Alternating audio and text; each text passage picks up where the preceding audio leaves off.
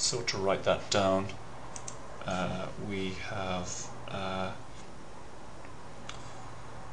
we have uh, SF is less than S4S is less than SG at 20 kilopascals.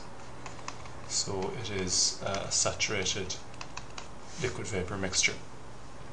The quality of the vapor is uh,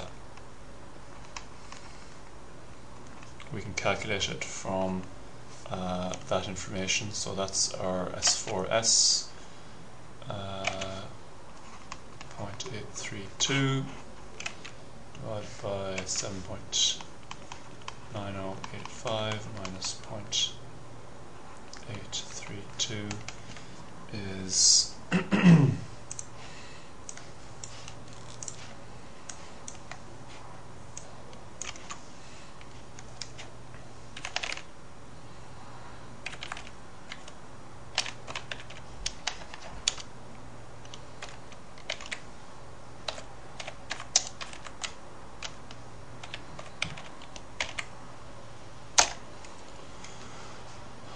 points point seven eight two four. So the enthalpy is we now have quality and pressure in state 4s. That's two properties. So we can find uh, the enthalpy.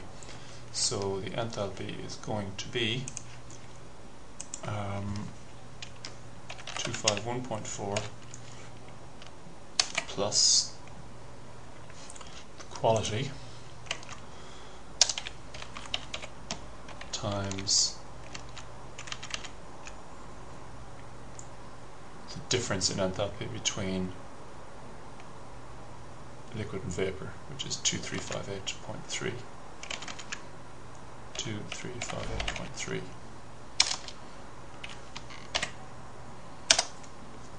Two oh nine six point five. Two oh nine six point five kilojoules per kilogram. Okay. So that hasn't got us H4, which is what we're really looking for. To find H4, we need to compare the isentropic turbine with the real turbine. Okay, uh, and they're related by the isentropic efficiency of the turbine, which we're told is 86%. So, uh, isentropic efficiency of the turbine, eta T, is the work done by the steam on the real turbine, 3W4. That's as the steam goes from state 3 to state 4, divided by the work done by the steam in the isentropic turbine, in which it goes from 3 to 4S. And if we write a first law for each turbine, ignoring potential and kinetic energy effects, and assuming that the uh, heat transfer is negligible, then we find that the work done in the turbine is the enthalpy change of the steam as it goes through the turbine. Uh, and we know all of these, we know H3 and H4S, we know the isentropic efficiency, so we can solve this to find H4. Okay. Okay, now, so we can solve this for H4. And H4 is going to be H3 minus eta t times H3 minus H4s is 3307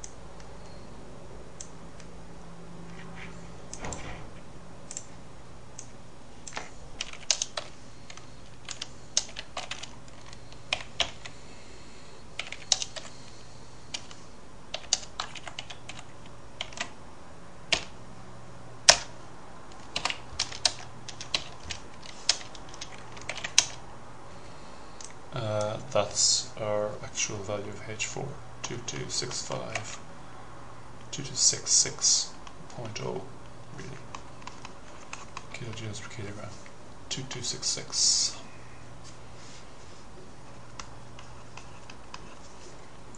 Okay, so we can find, at long last, we can find the thermal efficiency of the whole cycle.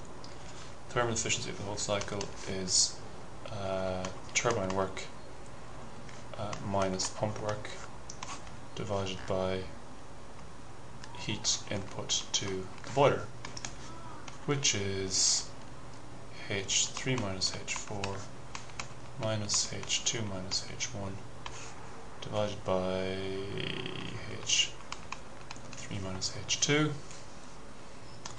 is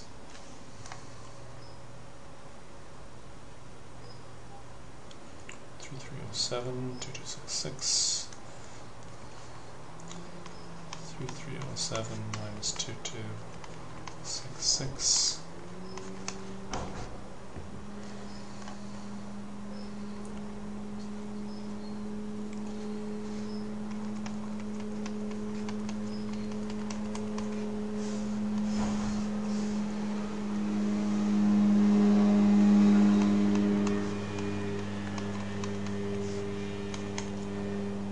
That is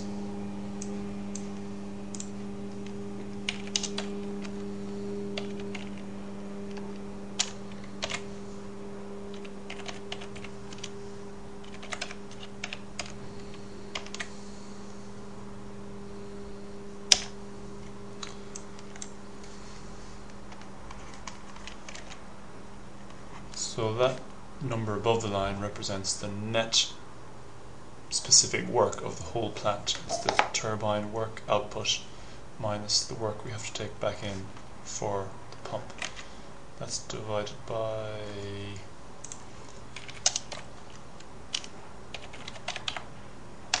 the heat input to the boiler.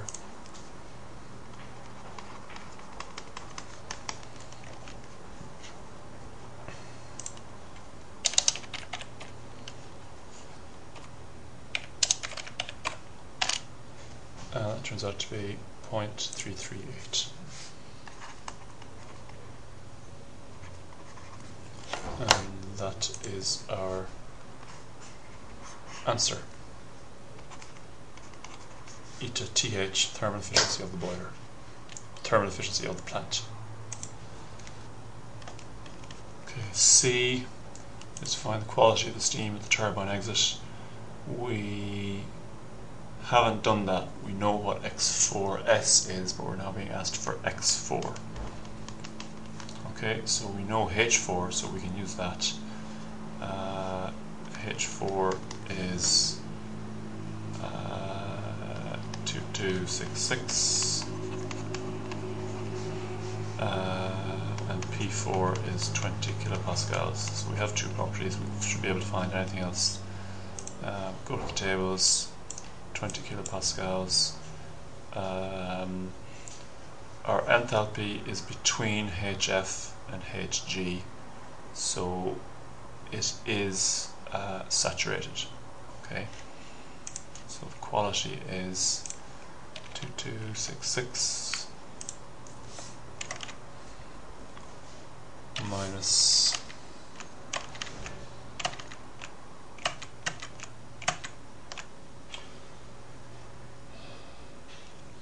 two five one point four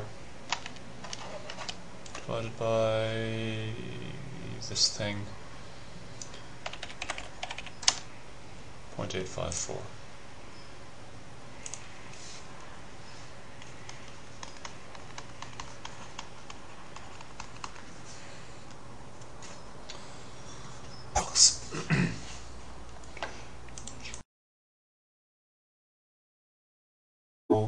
the total power output of the plant. And we have found the specific work output of the plant earlier when we worked out the um, the thermal efficiency. So this number here in the numerator of the efficiency calculation that is the thermal efficiency. The, uh, sorry, that's the specific work output, the work output per kilogram of steam for the whole plant. Okay, so uh, the relationship is that the specific work output, small w, is equal to power output divided by uh, mass flow rate m dot. So this is supposed to be a big W with a dot over it, by the way. Uh, if you think about the units of that, it's joules per second divided by kilograms per second, which turns into uh, joules per kilogram, which checks out which are the proper units for the specific work. So the mass flow rate then is the um, total power, which is 1.2 megawatts, 1.2 million watts divided by the specific work, which is 1026.8 kilojoules per kilogram.